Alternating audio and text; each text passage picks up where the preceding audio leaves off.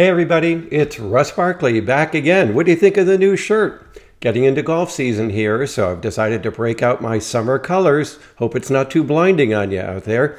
In any case, today I want to tackle a subject that seems to crop up every few years in the trade media and goes back to the early 1980s, if not before, in terms of when this was proposed. And that is the idea that consuming sugar, particularly by children, causes ADHD. I mean, this is an idea that will not die. I feel like I'm playing scientific whack a mole with this idea, where every few years it pops up again and we review the evidence and we whack that mole back down again. And then later on, five years or 10 years later, it's back in the trade media again. It's part of contemporary beliefs among the general population that this must be true. I hear this all the time from families. Oh, he had sugar. That's going to make him wild or more ADHD. Uh, and so it, it's still out there. I mean, it really is the idea that won't die. Now, part of the reason that it seems to have some sort of sustained life, at least out in the trade media, is that there are a number of studies that do show a correlation between consumption of sugar, and degree of ADHD symptoms.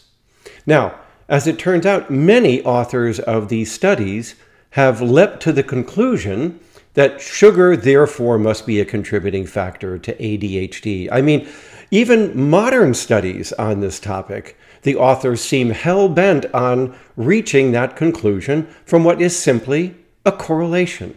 And we know you can't do that. So let's begin with a quick review, a meta-analysis of the literature, this one back in 2020, but I have no doubt that any subsequent studies are probably consistent with this one. The authors found that there were seven studies that met their review criteria that had to do with a relationship between sugar consumption, whether through sugar beverages or through more general sugar food consumption, and ADHD. And they conclude that out of all of these studies, which included over 25,000 individuals, they did find that there was a small but significant positive relationship between the amount of sugar consumed and the degree of ADHD symptoms. Ho hum. But even these authors, just four years ago, go on to say that this provides evidence that consumption of sugar worldwide might be contributing to the increase in the prevalence of ADHD, or at least symptoms of ADHD in the population. Well, friends, you just can't say that from this correlation because it is equally, if not more plausible, that the more ADHD you have, the more impulsive you are, the more prone to addiction you are, the more likely you are going to turn to the high carb, high sugar foods and beverages. We've seen this in longitudinal studies as well. So it's not only just as plausible, it's even more plausible. And yet, authors seem to ignore that more plausible idea. So, how can we again refute this notion that because sugar and ADHD are correlated, it's the sugar that's causing the ADHD symptoms? Well, the first thing that we can do is to do a longitudinal study, following individuals over time, children in this case, measuring their sugar consumption and degree of ADHD at time one. This study did that at six years of age. Following the children up for a period of time, in this case about five years, and then looking at degree of ADHD and sugar consumption over that time. And there are statistical ways that you can then use these data to look at a possible causal relationship. And that's what they did. So what you do here is you look at does sugar consumption at age six, controlling for ADHD at age six, does sugar consumption predict an increase in ADHD symptoms over time? What did the study find? No. So that tells you it ain't the sugar. On the other hand, the converse analysis, where they looked at does ADHD at age six predict sugar consumption over time, even controlling for how much sugar you were consuming at age six? And the answer is yes. The longer your ADHD goes on, the more sugar individuals are likely to be consuming, telling us what we said earlier that ADHD predisposes to sugar consumption and not the other way around. So that's one piece of evidence, but it's not the entire picture. There's other forms of evidence as well. Let's take a look at another study. This was a huge study of adults done in Sweden that involved nearly 18,000 pairs of twins, right? And as you know, we can calculate the degree to which genetics and various environmental sources contribute to a trait, ADHD in this case, by using twins, comparing identical twins to fraternal twins and siblings and so on. And mathematically, we won't go into that, but the twin methodology is a tried and true, well established method for looking at the contribution of genetic factors to a trait. ADHD in this case. What did these authors find? They found that there was a relationship between ADHD and sugar consumption. Wasn't very large, but it was there. they also found that that relationship was explained by shared underlying genetic factors. So that the genes that were contributing to ADHD were also the genes contributing to consuming too much sugar. And the authors go on to reason that one reason for that is that ADHD predisposes to addictive behavior. Addiction to drugs, addiction to alcohol, to tobacco, to marijuana, to video games and internet gaming, and so on. We know that ADHD is associated with a higher risk for addictive type behavior, including binge eating disorder, and even bulimia. So they argue that what you're seeing here is shared genetic risk across different domains of behavior, both ADHD and consuming sugar. So that also refutes the idea that the sugar is causing the ADHD. Both may be arising from underlying shared genetics toward, again, probably addictive propensities. Now, the authors did find something I found rather startling. The majority of the variation in the relationship between ADHD and sugar consumption, although there was a genetic contribution, was primarily explained by what is called non shared environment, which is environments that occur to only one member of the twin dyad and not in the other. And there are many things that can happen that are not shared. They can be diseases, infections, accidental injuries, things that happen to one twin and not the other. I'm a twin, and there were things that happened to my brother that didn't happen to me, and so on. One of the things that may be possible here as part of that non shared environment is the degree to which these individuals are opting into environments where sugar containing fast food, high carb, Western type high sugar foods are more readily available or more likely to be consumed. Now, that could be in your peer relationships where you're associating with peers who are eating a lot of junk food, sugar especially. It could also be that you're hanging around in environments where those kinds of foods are very readily available, especially to an impulsive person. Whereas the other twin may be in an entirely different environment. Remember, these are adults, they've already left home.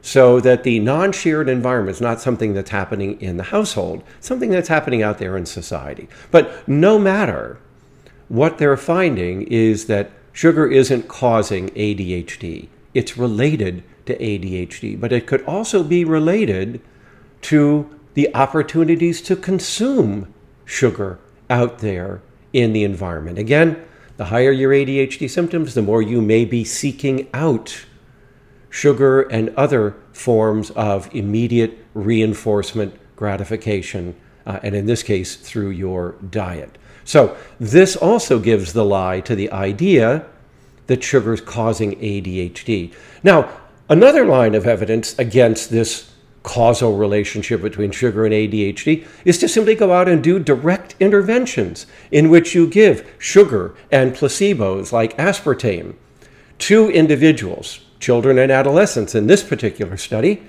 and they don't know, neither the kids nor their parents know which days the individuals are getting the sugar and which days they are getting the sugar substitute. And this review found that there were a number of studies, at least I think six or more, but no matter, a number of studies that found that when you do this kind of direct intervention and manipulation, all of the studies found nothing, no differences between the sugar and the placebo. There again, evidence against any idea that you hold that sugar is causing the ADHD symptoms. So there's three lines of evidence right there against this idea of interpreting that correlation as causation between sugar and ADHD. One study that goes back to 1985, this done by two friends and colleagues of mine, Dr. Mark Wolraich, a developmental pediatrician, uh, and the late Richard Milich. Uh, and this study was exactly what I described, where they, on certain days, gave sugar to the children, on other days, they gave a placebo aspartame to the children, and the parents didn't know which days were which. And when they looked at the assessment of the kids' ADHD behavior, both through ratings and observations, there were no differences. And they concluded, even back nearly 40 years ago, they concluded that there is no evidence that sugar is causing the ADHD. And there have been many studies since then that found the same thing. Now, about nine years later, Richard Milich and one of his students, Dan Hoover, did a study that might explain what's going on here. They took typical children, not ADHD children, but typical children whose parents had said that their children were very sugar sensitive. They split the children into two groups. Both groups were given a placebo, aspartame, but half of the groups, the mothers were told it was sugar. And the other half, they were told it was a placebo. But none of the children actually got sugar. What did they find?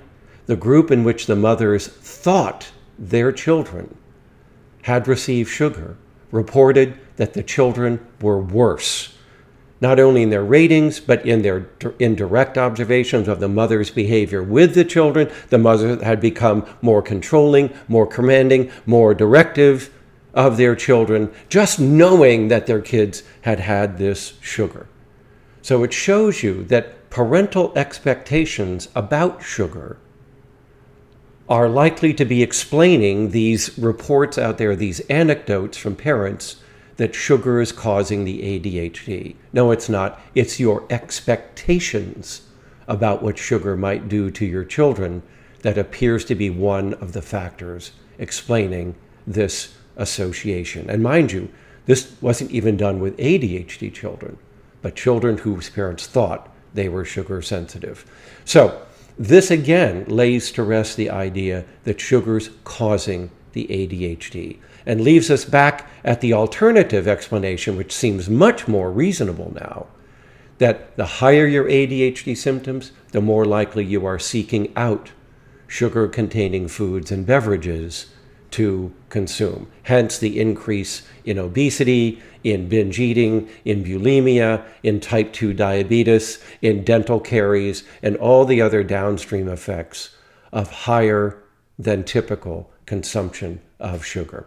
Okay, hopefully that puts that to rest. Now, one of my subscribers, Allison, thank you for the suggestion. Allison wrote and said, Hey, Russ, would you go and take a look at this website? Because here's a guy claiming not that sugar is causing ADHD, but there's something about ADHD that is leading to some kind of problem or difference in sugar metabolism and use in the brain. So he's arguing, this is Dr. Greenblatt over at his website, finallyfocused.org. He's arguing that how the ADHD brain processes sugar is different from what we see in typical children. Interesting hypothesis. I'd, I'd never heard of this before. But I went through and I read the evidence he cites, And I'm very familiar with that evidence. And it just can't be. Here's what he does he says that, okay, we go out and we do scanning studies of ADHD children's brains compared to typical kids' brains or even adults. Okay, and some of these scanning methods, like SPECT scanning or others like positron emission tomography, but especially SPECT some of them are using blood glucose to measure brain activity. So they give you a little radioactive dye that binds to the glucose in the blood, and when it enters the brain, they can track where the blood sugar is going and where it's being used and where it's not being used. Now, mind you, this is a way of determining how active areas of the brain are. It has nothing to do with a problem with glucose metabolism in those re regions. It's simply a reflection of how active or inactive the region is. And yes, many studies do find that there is lower blood glucose metabolism in certain regions of the brains of people with ADHD. But that is simply an indicator that there's less activity going on there. When we give stimulant medication or do other things to increase activity in that brain, blood glucose metabolism goes back up suggesting that there's nothing wrong with the way the brain is metabolizing glucose. It's in the brain matter itself. There are problems in brain development and functioning, and the blood glucose is simply a reflection of those differences in brain activity. It would be like you driving your car at a slower rate of speed, and therefore it's consuming less gasoline, and there you conclude that, oh my God, there's something wrong with the way my car is metabolizing gasoline. No, there isn't. The gasoline consumption is just a byproduct of how active the engine is. In this case, the glucose metabolism is just a byproduct of how active or inactive brain regions are. So I'm sorry, but this website gets it all wrong. There is no evidence there's some problem in the brain with glucose metabolism. There is a problem with brain activity, functioning, interconnectedness, and so on, as I've talked about on this channel many times. So thanks again, Allison, for bringing that to my attention. So there you have it. Once again, we're going to whack that mole back down into his hole. That sugar hypothesis should go back into oblivion on the dustbin of history because it simply isn't so that sugar causes ADHD. But there probably is a relationship between how much ADHD you have and how much you are likely to consume sugar. The causation is the other way around. Okay, thanks for listening, everybody. I hope you enjoyed this and found it informative. And to those of you who subscribe, thank you. If you haven't subscribed, please consider it as well. We're approaching 100,000 subscribers. I hope to meet that by the end of May. Wouldn't that be wonderful uh, within one year? But no pressure. Just wanted you to know that. All right, I'll see you again next week. Thanks for joining me. And as always, live well and be well. Thanks, everybody.